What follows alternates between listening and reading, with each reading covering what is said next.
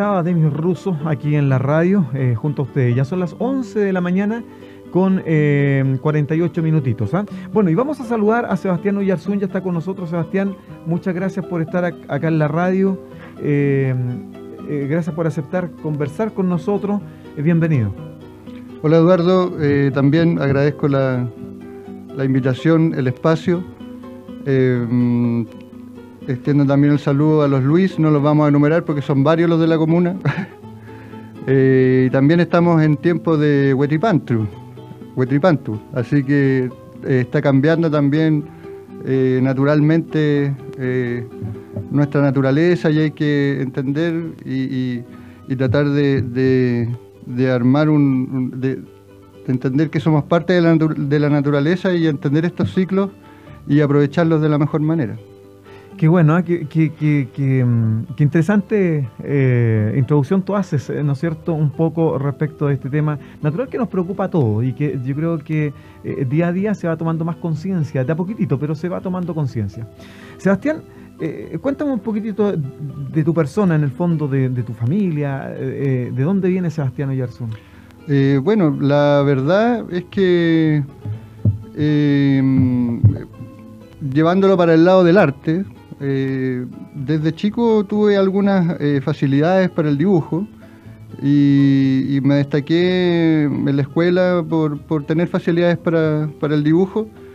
Y fue muy em, incentivado también por mi familia paterna, porque tengo un abuelo que es Premio Nacional de Arquitectura, que su nombre es eh, Rodolfo em, Oyarzún Filippi y, claro, él eh, dibujaba, él pintaba mucho. La verdad que yo cuando, era pequeño no sabía que él era Premio Nacional de Arquitectura, porque cuando uno es chico no se interesa tanto por las cosas, sino que sabía que él conocía las pinturas y, los dibujos que habían en la casa. Por lo tanto, el lado arquitectónico y, del lado de la arquitectura y de su obra y, y su legado yo no tenía mucha, mucha conciencia pero sí eh, siempre eh, recuerdo el olor a, óleo que había, y no solamente en la casa de mi abuelo, sino que también en la casa de mi padre, el olor a trementina, los lápices, y siempre eh, los regalos que, nos, que me hacían y nos hacían era, era siempre como ligado con el arte. Entonces era como una onda también, o sea, yo, a lo mejor si ellos no, no, hubiesen estado ahí con esa onda, tal vez yo hubiese seguido una onda, hubiese sido trash, hubiese sido punk, hubiese sido cualquier otra cosa. Desde niño decidí tomar la onda como del arte y, me gustó bastante. Él, dibujaba mucho naturalezas muertas, por ejemplo, que es una palabra que, que a mí me marcó mucho la palabra naturaleza muerta, porque cuando nos juntábamos a dibujar, eh, o yo dibujaba y llevaba la, enseñanza que, me dio mi padre en realidad cuando me enseñaba los colores eh, y a dibujar, y él fue mi, maestro, mi mentor, además de mi madre también, que es buena para el dibujo también. Eh, tuve buena, me gustaba mucho el dibujo, y bueno, nací en una época donde está todo el arte eh, masificado y digitalizado, la televisión, me crié con la televisión, por lo tanto ahí estaban los dibujos animados y siempre me fui por el lado del dibujo más que todo. Qué bueno, qué interesante saber eso porque de alguna forma también eh, queda manifiesto que la parte artística tuya eh, se va a mantener por siempre. O sea, es una cosa que está en tus genes, eh, que está ahí, a lo mejor tú le, se lo estás inculcando alguna, directa e indirectamente a tus hijos, a tus hijas, no sé, a tu, entorno familiar, digamos, más directo. Bueno, eh, aprovecho de dedicar el programa a mis dos hijas, a María Paz, que cumplió hace dos días cinco años, y mi hija Paula, que va a cumplir dos en el próximo mes. Y claro, son, les encanta dibujar. El, dibujo es algo que está en la casa, las témperas, y los, niños vienen con esa onda de dibujar, de cantar. Em, mucho se hablaba de Da Vinci, por ejemplo, como hombre universal. Y la verdad que lejos de venir a quebrarme, porque siempre he sido de alguna manera abajista, no me gusta mucho hablar de, quiénes eran mis ancestros o, incluso de, tratar de alardear con mis facilidades o, aptitudes a lo mejor artísticas, sino que eh, como compartir, porque en el fondo son eh, es un legado que, nos dejan a todos, no solamente a uno, y también tratar de, de, como artista, eh, tratar de entregar que, el concepto de que el arte es como una actitud en el fondo. Y todos podemos ser artistas y de alguna manera todos somos artistas porque se ha masificado. O sea, el, yo pienso que hasta un niño que está en la básica ahora tiene más conocimiento o más información que Leonardo da Vinci.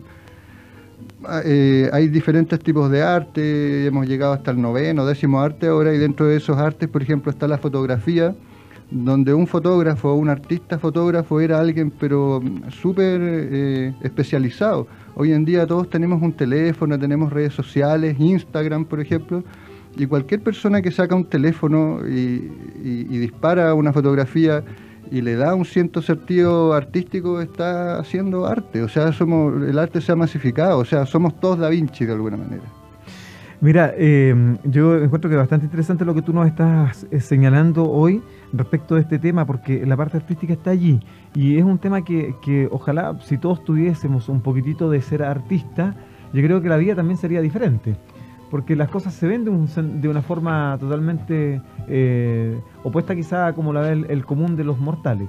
Ahí veo que tienes en tus manos varias, varias fotografías eh, eh, que, al parecer tú has sacado, son pinturas esas. bueno, algunas pinturas, algunos diseños, pero quería leer un pequeño texto de, mi abuelo que lo escribió en el, en el, en el diario Mercurio en la década del 30, porque él hacía, como arquitecto y como eh, Premio Nacional de Arquitectura, eh, tiene un monumento nacional, por ejemplo, en la calle La Bolsa, que es el edificio que está al lado de la Bolsa de Comercio. Ya, perfecto, sí. Y que hoy, que era el edificio de la Mundial y que si hoy no me equivoco es un banco, claro.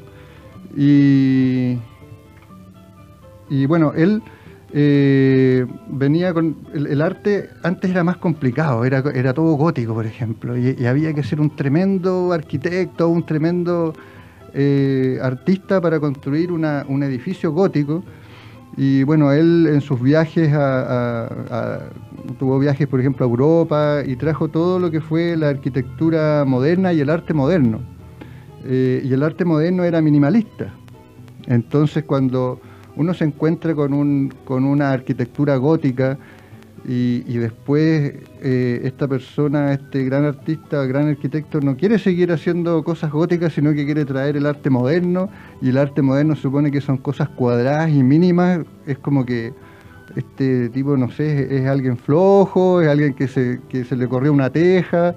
Eh, él trajo la arquitectura moderna a Chile y ese concepto le costó introducirlo y me gustaría leer. Eh, sí, por supuesto. dice, en el diario Mercurio escribió, eh, se equivocan los que creen que el arte nuevo nada ha conseguido, pues lo falsamente tradicional e histórico en la arquitectura ha sido enterrado para sustituirse por todas las ventajas materiales y espirituales modernas. Y eso convence al más obstinado, el arquitecto, el pintor, el escultor, el músico, el literato, el poeta, están construyendo hoy un nuevo arte, pero tienen la conciencia exacta de que este nuevo arte se encuentra en sus comienzos. Una ojeada a la historia del pasado nos demuestra que cada periodo histórico demoró siglos o miles de años hasta llegar a la madurez. Estamos hablando de la década del 30. Eh, eh, no había televisión, no había, no había mucha fotografía, no había fotografía mucho. Eh, entonces, eh, claro, el, el, arte es una, si, definimos la palabra arte, si lo buscamos en la Real Academia, es como una actitud, es una, es una forma de ver la vida. O sea, un artista se ve, en, la, eh, en el fondo es amor, cuando uno ve un pajarito, cuando uno ve la naturaleza, y quiere dibujarla quiere, o quiere observarla nomás, es una actitud. Eh, cuando uno lee, por ejemplo, el libro el, arte de amar de Fromm, entiende que, que es solamente una cuestión de actitud nomás, que está entre querer ver la vida de una manera más simpática, más, más amable con, arte o, tomar la, vida de otra manera o un poco más materialista. Eh, respóndeme esto, por favor. Eh, ¿Cómo tú has podido conciliar una cosa con la otra? Porque la verdad es que tú también eres, una persona que bastante em, eh, abierta en el sentido, de, digamos, de poder eh, adentrarte en distintos temas que te preocupan, que, están en el tapete comunal. ha sido un tanto crítico también, cosa que es buena, digamos, en estos tiempos, tener una opinión tal vez divergente y siempre con respeto. Em, entonces, ¿cómo has podido matizar estas cosas, digamos, de lo artístico? Eh, un poco lo místico también que yo te veo, y por supuesto también este tema político. Bueno, el arte no es otra cosa que amor. Entonces, cuando uno, eh, cuando uno ve la mayoría del arte y ve de los grandes artistas volviendo a la naturaleza muerta, se refería al bodegón, cuando uno dibujaba una frutera con, con manzanas, peras o, una, o un ramo de flores. O, ¿Qué es lo que está haciendo? En el fondo está, está siendo feliz. El arte es, como la felicidad, digamos. Entonces, y es la sensibilidad. Y, una persona artista y sensible no, no puede estar ajena al, al, al, sufrimiento, a la injusticia, porque todo eso tiene que ver con, con una actitud de vida sensible. Eh, grandes artistas, como los que mencionaba, muchas veces dibujan la naturaleza, eh, Da Vinci cuando dibuja la Mona Lisa es una persona, es una persona humana que, está entregando cierta, cierta actitud en su rostro.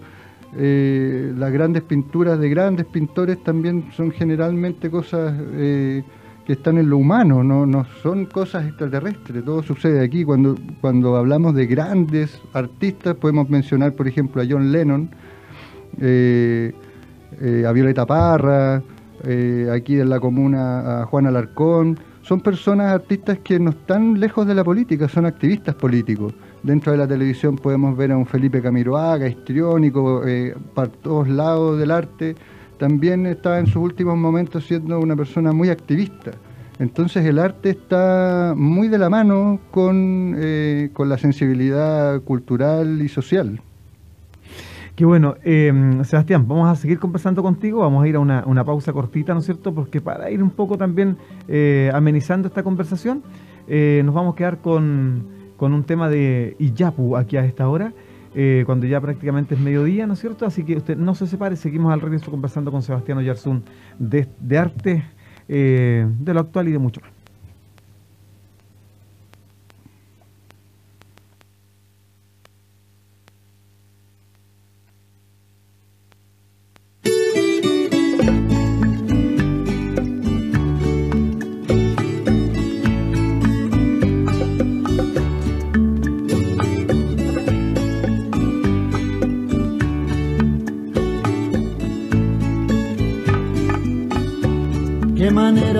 Tenerte tan cerca de mí.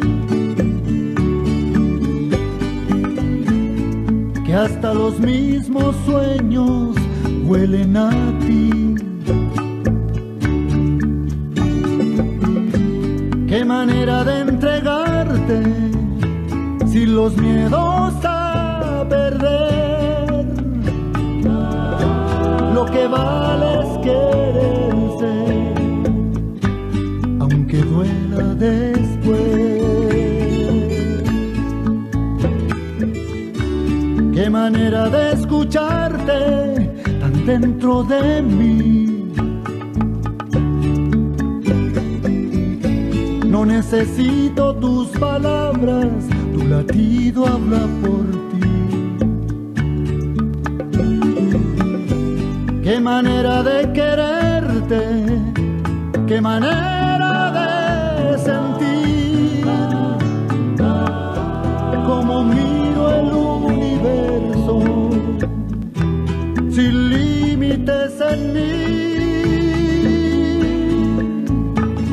que veo en tu mirada, que soy dueño en tu jardín, que te llevo de la mano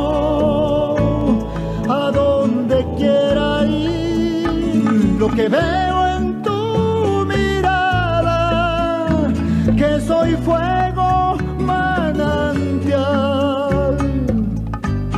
que te llevo de la mano y no canso de andar.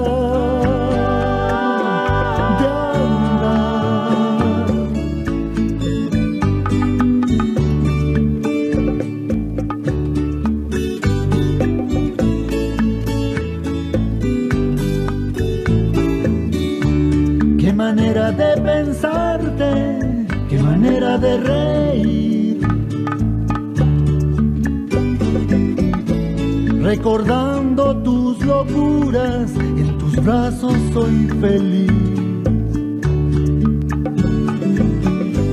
Qué manera de quererte, qué manera de sentir.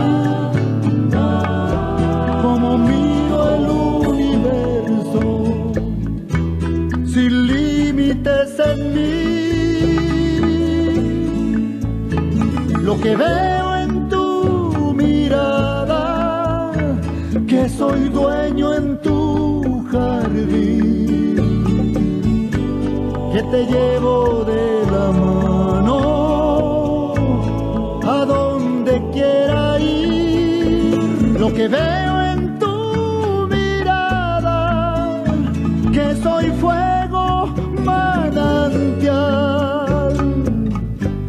que te llevo de la mano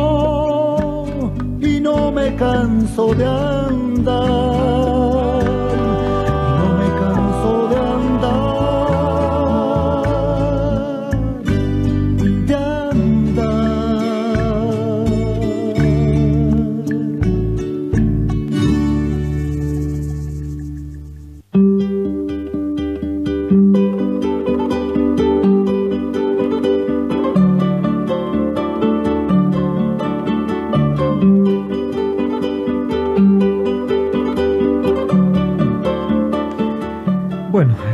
Seguimos aquí en la radio 228612224 en nuestro teléfono para que usted comparta con nosotros a esta hora aquí en el 1071. Estamos junto a Sebastián Oyarzún eh, compartiendo un poquitito, ¿no cierto?, respecto del tema arte, patrimonio, cultura. No, un poquito. Sebastián, em, me llamó la atención en su momento porque tú dijiste, eh, pasó el tema del Día del Patrimonio eh, para mí sin, sin, pena ni gloria, digamos. En el fondo eh, te sentiste un tanto, al parecer, desfasado respecto de esa fecha tan importante que, se ha ido como eh, cada vez asentando más en nuestro país. claro, siempre me ha gustado el arte y, estoy aquí en el, en el, cajón del Maipo, volví hace unos siete años, me casé, tuve hijos y en realidad estoy dedicado a los hijos y también eh, estos antepasados de los que estoy hablando ahora, eh, los estoy conociendo también eh, en estos últimos años, porque ellos trabajaron para el gobierno de Chile, como arqueólogos o como naturalistas, como arquitectos. Entonces, la obra y sus obras, sus dibujos, prácticamente la estoy conociendo a los 30, entre los 35 y 40 años.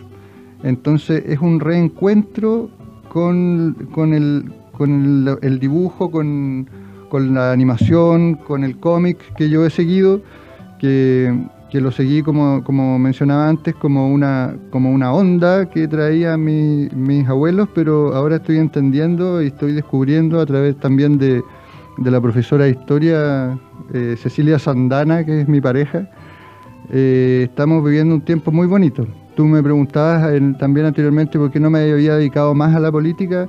Es porque en realidad la estamos pasando muy bien. Eh, esto está como, es como una película de Indiana Jones. Estamos descubriendo tantas cosas que. No la queréis pasar mal.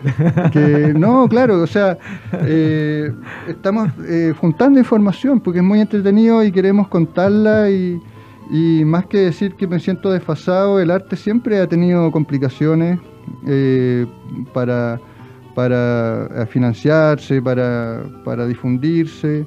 Eh, y no lo tomo como algo personal. O sea, cuando llegué también trabajé con, con Dedal de Oro, con Cantares del Volcán, que todavía trabajo con eh, Juan Alarcón. Y cuando uno se acerca a pedir recursos o a contar esto, es difícil que, tenga buena acogida, porque cuando hay en un país subdesarrollado, cuando hay problemas económicos, lo primero que cae es la publicidad, el arte.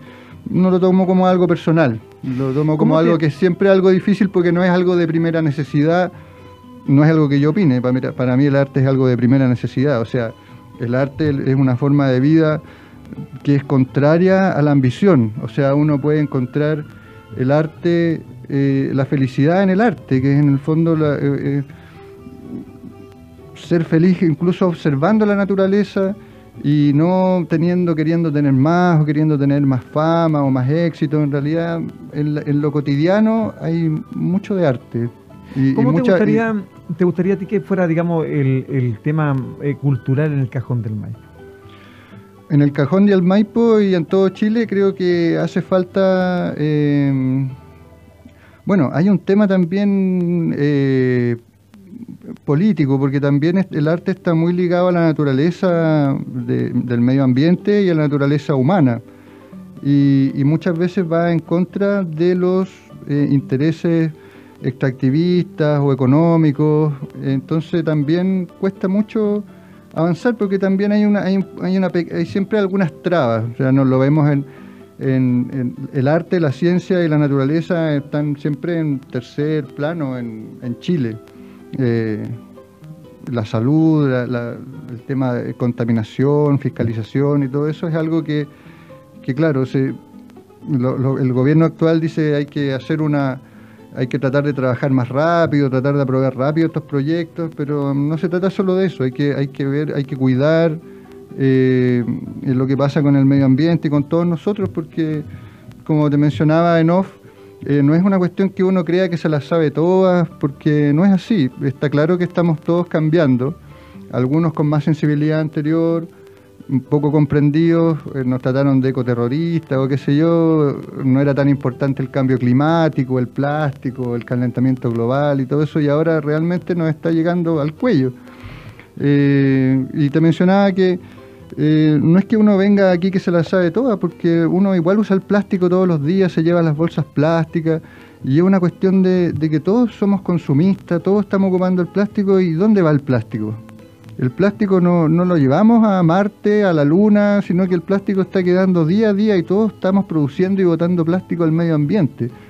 Y, y es algo que lo hago yo también, entonces tampoco vengo aquí como que yo me las sé todas, sino que todos tenemos que cambiar y, la, y, la, y la información y la comunicación es parte del arte también. eh, y, el arte de comunicar y de informar es muy importante porque eh, está creando una nueva conciencia humana y, estamos viendo lo positivo y lo negativo. Y eso está generando un cambio no solamente en Chile, ni en, ni en, ni en, ni en, el cajón del Maipo, sino que en todo el mundo. Perfecto. Sebastián, eh, volviendo un poquitito a lo que tú has hecho, digamos, a, tus pinturas, porque veo que hay varios dibujos interesantes y, y quizás hay muchas personas que no sabían que pinturas tuyas están colgadas en los pasillos de la, de la, de la ENEC, en, en- aquí en San José de Maipo. De la ENEC, sí. Bueno, es que también es un poco, como te digo, también es un poco culpa de uno porque he estado investigando y estamos en, preso en pleno proceso de investigación y de recopilar y ha sido muy entretenido, por lo tanto el tema político, el tema de gestión, eh, uno va y cuenta y, no todos van a, van a, a impresionarse y, y aportar, sino que cuesta, cuesta también entregarlo de buena manera, de repente es culpa de uno también. Eh, pero estamos de a poquito. Mira, te contaba de mi abuelo, eh, Rodolfo Yersum, Premio Nacional de Arquitectura. Él también, una de las otras cosas destacables que tiene él es, el, es que él eh, planteaba mucho el concepto de la vivienda social con pocos eh, materiales, o sea, salir del, de todo lo que era la, el, el gótico y sofisticado a tenerlo con pocos materiales y social es algo también eh, interesante que ahora lo ocupó eh, el, el prem- el Premio Nacional de Arquitectura, que- que es considerado como el Nobel de la Arquitectura, no recuerdo cómo se llama el premio, que lo, tampoco me recuerdo mucho el chileno que lo ganó hace un par de años, Alejandro algo. Eh, él también ocupó el mismo concepto, que era la vivienda social minimalista Ya. que, que es muy interesante que lo plantea eh, mi abuelo. Y eh, otra cosa que también hizo fue formar de alguna manera las instituciones o organismos que eh, se dedicaron a generar esta construcción antisísmica en Chile, que es muy interesante también, porque en los países del mundo observan con mucha atención cómo, en Chile tremendos eh, terremotos y se caen muy pocas estructuras. la, estructura resiste muy bien. Eh, mira, tenemos poco tiempo. Me gustaría eh, contar que mi seudónimo es Toga. En el colegio me decían gato. Porque como siempre me gustó la televisión, el, dibujo y, la, y los dibujos animados también. En la, escuela uno, yo dibujaba mucho. Entonces eh, dibujaba perros, dibujaba gatos, dibujaba... Generalmente los animales son los que se caricaturizan y bueno, también a los profes por ahí, eh, paisajes, naturalezas muertas y todo. Entonces está el, en ese tiempo el, COA mucho, en los jóvenes. Vamos a salir a la chone, ponte los tolompas, qué sea. Entonces yo como me decían gato, un poco por los ojos y porque dibujaba a estos, personajes eh, como gatos y perros, eh, quedé como seudónimo Toga. Entonces eh, mi nombre artístico es Toga, así como, como Nestalí Reyes es eh, Pablo Neruda. Mi nombre inscrito en el em, derecho de propiedad intelectual es Toga. En, en otras ciudades o mis amigos me dicen Toga, así me presento yo. Y, mis obras desde, desde la escuela las firmo así, y, ese, y ese anonimato, porque eh, mucha gente eh, no sabía y no sabe, digamos, hasta después de, ¿no cierto? de esta conversación acá en la radio, eh, respecto un poquitito de lo, de, lo, de lo artístico que tú tienes, digamos, de ese arte que está adentro, que de alguna forma lo estás manifestando, ¿no es cierto?, con, tu, con tus pinturas, con tus dibujos, que de alguna forma yo creo que habría que también mostrarlo a la comunidad. Yo creo que es interesante quizás hacer algo entretenido eh, quizás con la radio. No sé, ahí vamos a ver alguna forma de, poder mostrar esto y tratar de sacarlo de ese anonimato, porque creo que eh, las cosas buenas hay que, hay que impulsarle, hay que eh, apoyarla como corresponde. Yo, yo creo en eso y por lo tanto esperamos, digamos, hacer algo junto en ese sentido. Yo creo que va a ser bastante interesante para la comunidad. Sería genial, y no solo como te contaba mi trabajo, sino que la, historia del arte y la historia de las comunicaciones y de la tecnología en el mundo no lleva muchos años, debe llevar unos 100, 100 200 años. Eh, los aparatos tecnológicos o la, o la masificación de la, del, arte. Eh,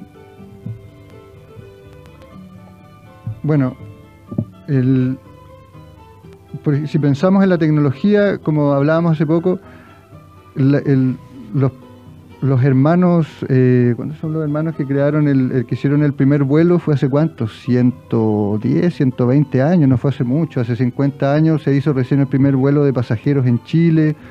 Eh, también a través de estos eh, viejos antepasados yo estoy mirando la historia de otra manera, porque nos muestran la historia siempre desde el Big Bang, desde, la, desde, el, hombre de las cavernas, la historia, el fuego, la rueda, la piedra, eh, antes de Cristo, después de Cristo, y resulta que, lo esencial dentro de la evolución del hombre ha ocurrido, eh, siendo que habían grandes, eh, estaban los romanos, grandes civilizaciones y todo, ha ocurrido mucho, mucho de la tecnología y del daño que le hemos hecho al planeta también como, contraparte ha ocurrido todo en, como en 100 años, no, no más que eso. Eh, es increíble como, como, de repente no nos damos cuenta. Pienso que de repente deberíamos contar la historia al revés, eh, porque cuando pensamos en Darwin, eh, Darwin y la teoría de la especie y de los mismos aviones de pasajeros, como contaba antes, nosotros nacimos con esto, con la tele, con todo, y pensamos que esto lleva miles de años, y no, lleva muy poco. La teoría de la evolución de las especies no lleva 100 años, entonces estamos parados en este planeta con una religión científica que lleva muy poco tiempo, o sea, la humanidad lleva miles de años y nosotros con esta forma de pensar esta ciencia la tenemos hace muy poquito tiempo. Y, cómo me he dado cuenta de eso yo y, cómo quiero, eh, cómo que, ya que vamos a trabajar en algo eh, juntos, el, el concepto y lo que queremos mostrar eh, y para los niños y también para la gente adulta, incluso para, los de la tercera edad, es mostrar que, el arte es una cuestión de actitud y que todos, todos tenemos acceso a las herramientas artísticas y, a, ser felices y a mirar la vida de otra manera, no tan, no tan eh, ambiciosa materialmente, sino que lo bonito está en lo cotidiano, en la naturaleza. Eh, mira,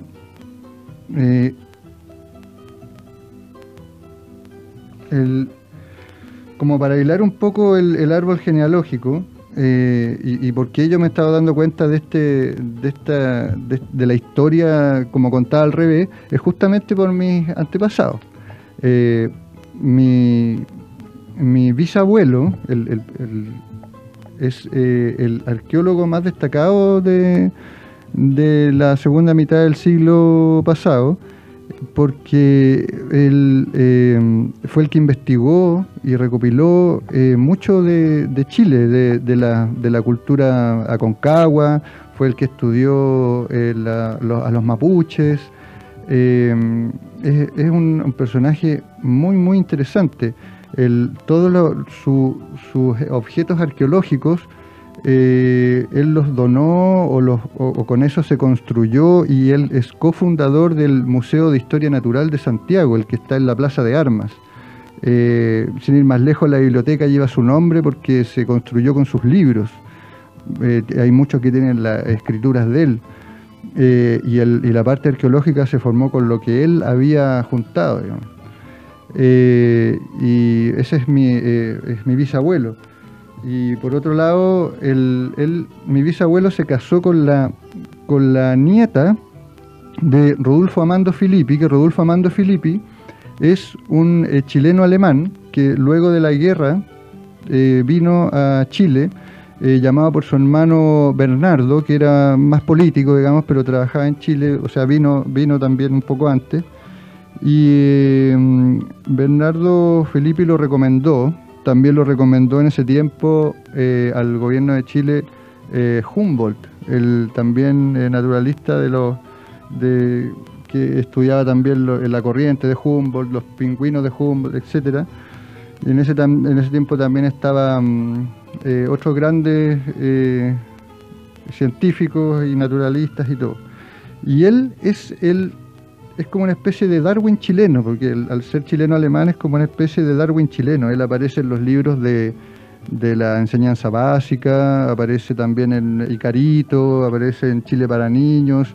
Eh, ahora si buscamos en, Memorias Chilenas o en los museos lo podemos encontrar y así como todos lo, como queremos enseñárselos a, a los chilenos y al mundo, también lo hemos estado descubriendo nosotros. O sea, algo muy bonito que te contaba de, eh, fuera en off era que yo casi a los 35, 40 años me estoy dando cuenta de que yo dibujaba o tenía alguna cierta facilidad, tal vez sí, tal vez no, y porque recién me estoy encontrando con los dibujos de este naturalista, que son los dibujos más antiguos de, Chile. De, tengo aquí en, la mesa eh, un libro que se llama Vistas de Chile, eh, donde sale la los dibujos cuando no había prácticamente construcción, puro campo, una, recopilación increíble que hizo ahí la Fundación Filippi.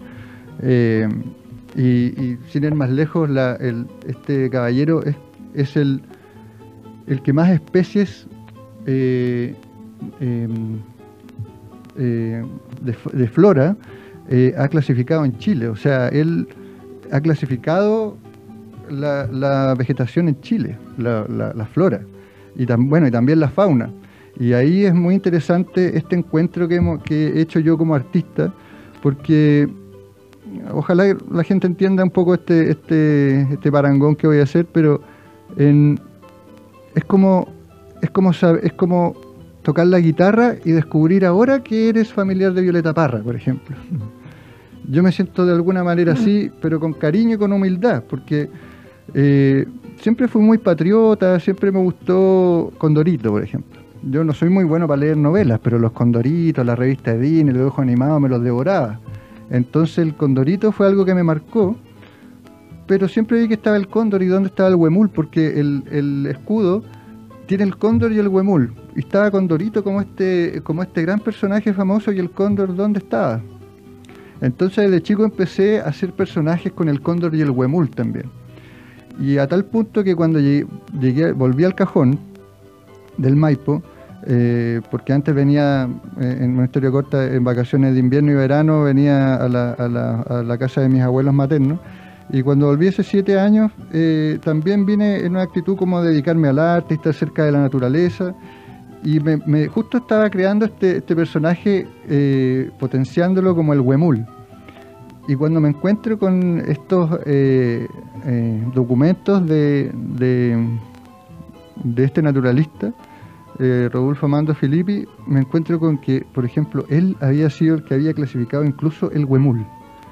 Y, hay una historia muy simpática porque yo llegué a registrar el huemul a, a Quinta Normal, ahí cerca al, registro de propiedad intelectual, y como crecí con Condorito, yo dije falta huemulito.